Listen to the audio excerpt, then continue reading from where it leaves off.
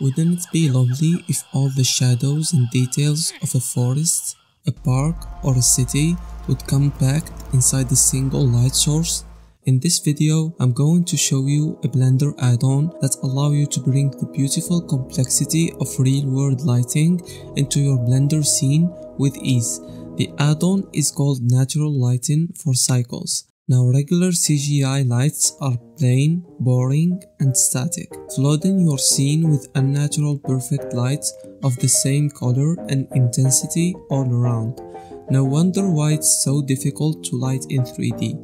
Natural Lighting introduced 22 beautiful animated lighting setups straight from the asset browser that will surely make your scene reach another level of realism.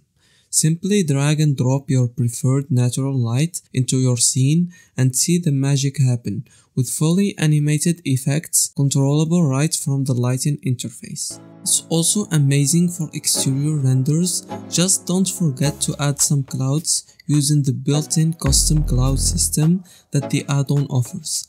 Also, it even works with volumetrics. Natural lighting works great with cycle volumetrics producing gorgeous animated rays. It's so easy to use because natural lighting is designed to be as easy to use as possible. Simply drag and drop your natural light into your scene and you're done. Each light will create its own custom user interface in the side panel.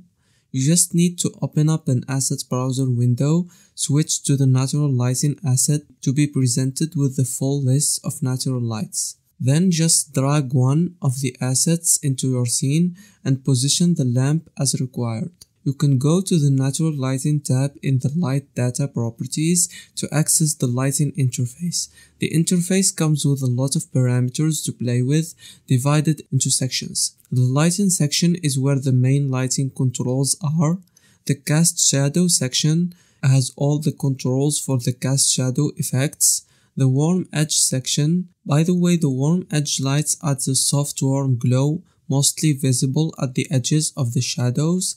This section has all the controls for that. Lastly, there is the clip section. So natural lighting is based on movie clips that the devs carefully recorded and curated to be suitable for the use of lighting. This section gives you control for these clips like the length and the frame offset. Now, if you want to check out this add-on, link is in the description. Tell me in the comments below what do you think about this add-on. Don't forget to subscribe for more videos like this one. Thank you for watching and goodbye.